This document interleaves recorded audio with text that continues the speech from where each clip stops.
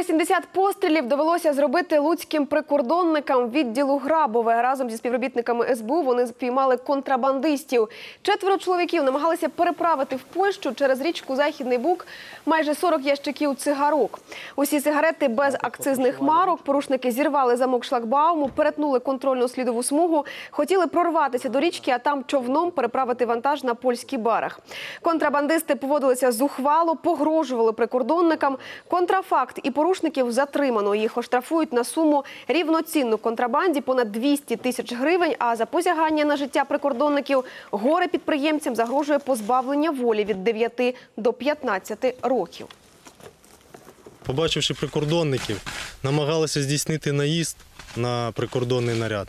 Прикордонники вимушені були здійснити попереджувальні постріли, але водій транспортного засобу не відреагував. Було припинено діяльність злочинного групування, яке впродовж декількох місяців за допомогою сучасних технічних засобів е, спостерігало за рухом прикордонних нарядів, їх переміщенням по ділянці. Е, Знаючи тактику дій правопорушників, е, нам вдалося контролювати переміщення групи та затримати їх на гарячому разом з організатором.